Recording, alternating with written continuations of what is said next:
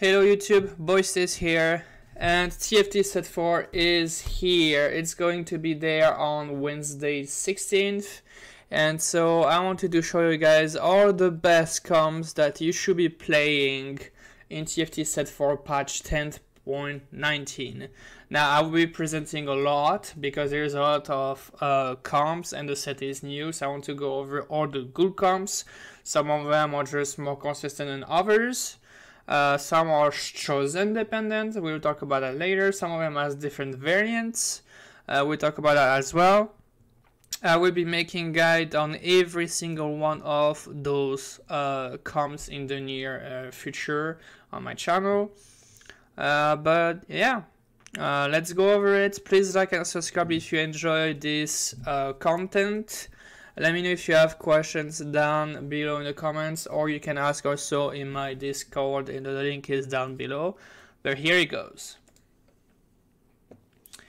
So, the first comp is Moonlight. Uh, Moonlight Aphelios Carry. Uh, so, this is uh, definitely tier S. Uh, tier S. Um, there's not that much to say really. It's just depending on what uh, unit you um, get with the uh, chosen Moonlight. Uh, and then you just go 3 star for both of your Moonlights, so your Aphelios becomes 4 stars, and then you just make him your carry. There is so many good items on him that it doesn't matter really which start you have, you should have at least half of a good component for a great item on him.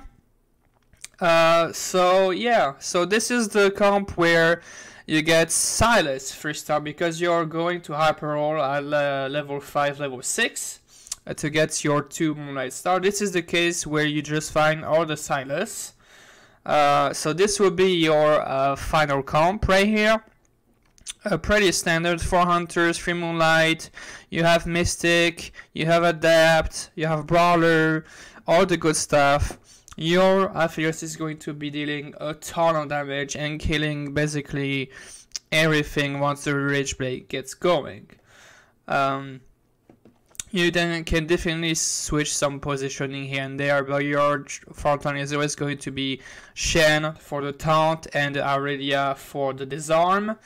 Um, yeah, your second carry here can be either Warwick with tanky items or Ashe with maybe something like a second Rage Blade or a Giant Slayer uh, that you can add here if you have it. Uh, Ashe is a great, great carry, but um, the goal here is to make sure that the Aphelios is safe versus assassins and anything. So put him in the corner here is the best. Uh, just make sure you upper roll these two at level 5, 6, and then you just add those units uh, as fast as you can to level 8. And uh, yeah, really, really consistent comp for um, going top 4 and top 1. Now, this is the case if you get a Sylas, but what about if you get Lissandras? Well, here it is. Again, you're going to see it's almost the same comp. The only thing is you have three hunters. Why? Because with the you have the two Dazzler synergy. Uh, two Dazzler is going to proc relatively easily just because you have a Morgana. Your Aphelios is still going to be doing a lot of damage. Uh, you can still have an IE or even a Shojin really to have more turrets is also really really good. Uh, it's super flexible uh, items. I do believe that those two are the best, uh, that you should aim for those two first.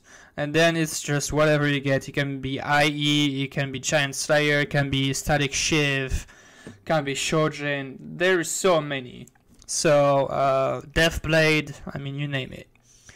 Um, so this is the version where you have Lissandra as the uh, chosen Moonlight, or the one that you uh, free start first before. And then there is the Diana. Now for Diana, uh, it's basically the same as before with the Lissandra. You don't really want another assassin. You can add it if you can at level 9, I believe it is. 1, 2, 3, 4, 5, 6, 7, 8. You can add an assassin on level 9 if you can, uh, but otherwise I would just, uh, you know, Aphelios is going to be dealing the most of the damage, right? The, you don't need more damage in this comp, especially if you get four hunters. Uh, your other damage is going to be Ashe and Kindred. Um, so you will have enough damage, you just need to protect your Aphelios. Same principle, you just 3 star those 2, Aphelios becomes a 4 star, it deals a shitload of damage, you win the fight. Um, again, this is a hyper roll build, right? Because you're looking for 2 3 stars that are pretty cheap, 1 and 2 cost, uh, which is why I recommend rolling at level 5 and 6. Uh, after you did 3 star those 2, you just straight up just go level 7 as fast as possible, go level 8, have an upgrade all those units and this is really really strong. Uh, so those are all the variations for Moonlight. Uh, I will be going over more detail in uh, upcoming video for this comp, but if you do get the Chosen Moonlight, you can definitely force this comp and do really good with it. Now, second S tier comp that's being super consistent is 6 Enlightened. with chosen Enlightened. Uh, this is like really, really good because uh, first of all, of all the good synergies are in this comp, right? You have Adept, you have Dazzler Mystic, which is the, the kind of the trinity uh, of this set. That if you do have those synergies, you should be like really good to go. Um, Dazzler will proc super easily with Morgana, and 6 and 9 will cast much faster, so everybody in map will be touch, and the Talon is just here to basically clean up what the Morgana could not and he will cast super fast, he will become invulnerable, you will see him jumping a lot of times, screening everybody and killing the whole team. Uh, but that's the principle of this uh, comp. Uh, you don't aim at doing any 3 star or anything unless you're really ahead and you Talon and Morgana 3 star at level 9 or 8. Uh, otherwise, I would just go fast 8, make sure you found those 3 units. Um, and that's the way to go. I will be releasing a, uh, guide on this comp as well uh, because it's really really good. If you get chosen enlightened, definitely go for it. It doesn't matter which enlightened it is. Uh, you should definitely uh, aim for this comp. It's S tier. It should be top one. Uh, definitely top four, if not top one. And uh, by the way, you can even play it without even a chosen alignment. This version right here is still really really good. You can still have chosen Morello on the Morgana, i.e. BT Guardian Angel, let's say, it can be QSS, it can be anything else on the Talon that we do the cleanup, and this is the same principle. The only thing is that you have four Enlightened instead of six but uh, it's still going to be really really good and this does not depend on a specific chosen um, now be careful because if somebody find the uh, Latin chosen you'll be contested and fighting these units and upgrading them at level 8 will be harder. Uh, but this is a version that you can go for if uh, you don't have a chosen and you have diadems for it. Uh, then you should definitely go for it. Uh, really really good comp. Now let's talk about Elderwood. Uh, now Elderwood, there is so many, so many versions of it. Uh, you can go six Elderwood, three mages with Veigar, Nunu carry with four brawlers. There is so many different things that you can do. Uh, this is just one of them where there is just a lot of good synergies going on with Ashe being your carry. Uh, for Ashe, I really recommend having Rage Blade as your main item, then Giant Slayer, then anything else that you can put on her. Uh, really, really good. I put here Sett with Elderwood spot because it is actually broken, I think. Uh, Elderwood Sett is actually broken. It's so good uh, with his true damage after he sits up, he heals, he's doing true damage. With the Elder buff, it's actually insane. If you don't get this Spatula, it's fine. You, it just becomes a Maokai and you're good to go. Uh, I really like this version because it relies more on your Ashe uh, doing a lot of damage with Hunter and not being just buffed up with the Elderwood. You should have enough frontline anyways with all of these units uh, to protect your Ashe. Uh, so yeah, really really good comp. This is the last S tier comp for me. A really good top four. Uh, your top one condition is basically going to be Ashe 3, Ezreal 2, something like that. Uh, really, really good comp. And now we're gonna talk about um, the tier A comps, and those are going to be chosen dependent. Uh, the first one being this one right here, being Nine Cultist. Uh, Nine Cultist is really, really strong if you can get it going. Um, so the goal is to basically have a cultist chosen and fast 8 and then uh, try to find your Zilean for the 9 cultist synergy. Um, depending on your uh, items, you can either go Jhin carry if you can get sword and gloves for the Infinity Edge and Last Whisper, or you can go with Kalista for a Rage Blade, or you can uh, more bows, basically more attack speed items. Uh, depending on that, you will want a Lee at level 9 to get Duelist, or if you do get a Jhin, you do want a Shen for an additional frontline and giving Mystic to the whole comp. Uh, your Galio is going to be uh, doing a lot of damage. Uh, your carries here, you have the choice between the two depending on what damage you get. I would recommend starting with uh, items for the Jhin because Jhin will be a better carry in general than the Kalista. It will be doing more damage. Uh, so again, this is a fast 8 comp uh, where you can go 9 Cultists as fast as possible. You should be win streaking with this once the 9 Cultist comes in. Uh, then you just roll for Jhin 2, Aatrox 2, Shen 2, etc. Uh, and then you can uh, add it to 9 and that is basically it. 9 Cultists, chosen Cultist. you should try to go for this comp. there is another version of it where you just go six cultist. Um, this is it basically. Uh, basic. I don't really. I I mean it's good, right? It's still tier A, but I would rather just go nine cultists if you have chosen cultist, right? Uh, this is really good just because you have Adept and Mystic. Yone is going to be uh, doing a ton of damage. You have legendary units, so that's why it's really strong. Uh, but if you do have a chosen Cultist, I would rather just go non Cultist uh, with uh, with it. But this is a comp that you can go for definitely if um, if you can. If you find those units and you can to start them, please go for it. It's still really really strong. Duelist. So, so this one is uh, I didn't think uh, I will make it 8 here to be honest. I do consider it S tier just because it does so much damage when it goes online and it's so like devastating in the late game once you do find the Yone 2. Um, so the principle of this uh, is pretty um, pretty easy actually. You just free star your Yasuo, those are the items. That's it. Those are the items you can put something else if you want, maybe like a BT for lifesteal, uh, maybe something like a IE. I would recommend the Guardian Angel is a must. That that's that's that's all you can I can say. Guardian Angel is a must. QSS is really good, uh, just because you can get CC'd to death basically.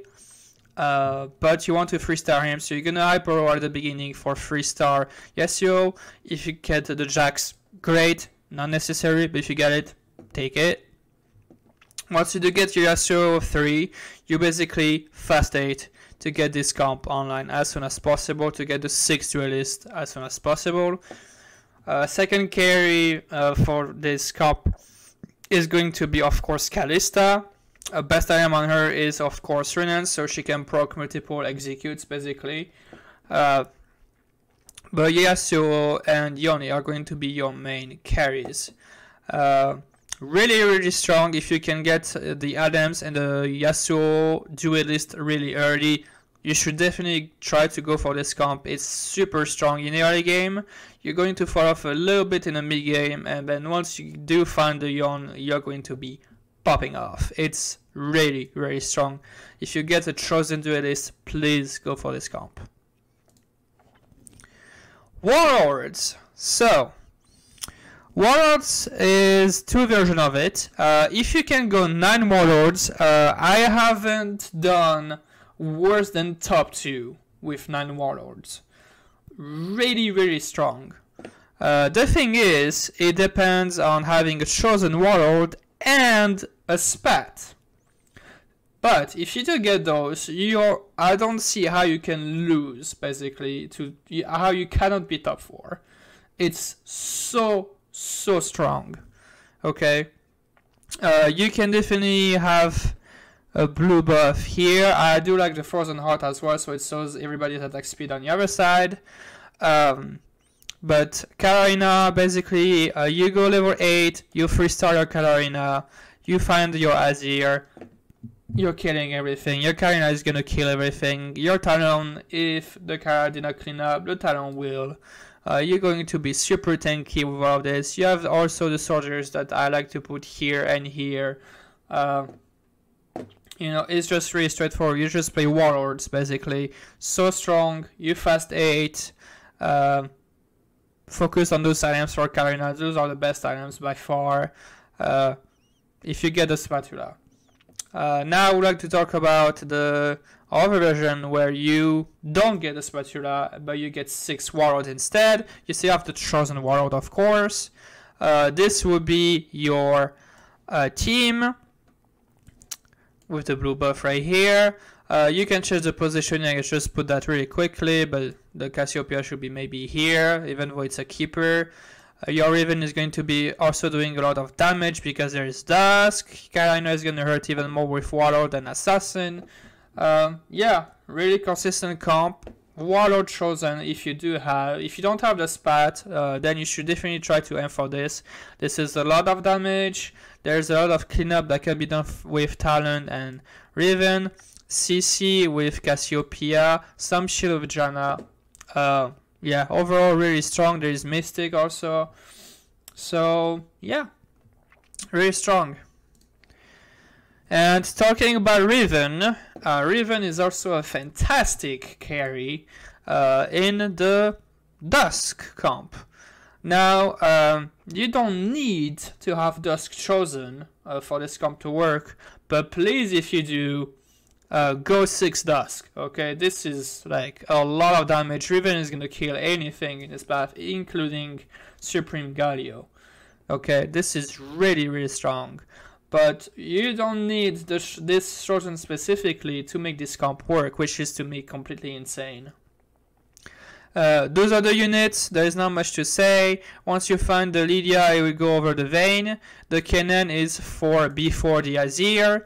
Uh, your Riven is frontline. You can give her Bramble Vest, Dark Crow, Rabadon. It can also be Guardian Angel, Ionic Spark. It's totally fine. Basically, any uh, 10 key items plus a AP damage item, and she will just do all the work for you. Really, really strong. Um, yeah, that is in this comp. You just go fast 8. You find uh, your units, those three. You especially try to find Riven as soon as possible because she'll be your carry. You put all this group together because you have keepers, so everybody gets some shields. Um, yeah, there is not much to say. Really, really strong. You have Mystic, you have Dazzler. Uh, Dusk is doing a lot of damage for everybody.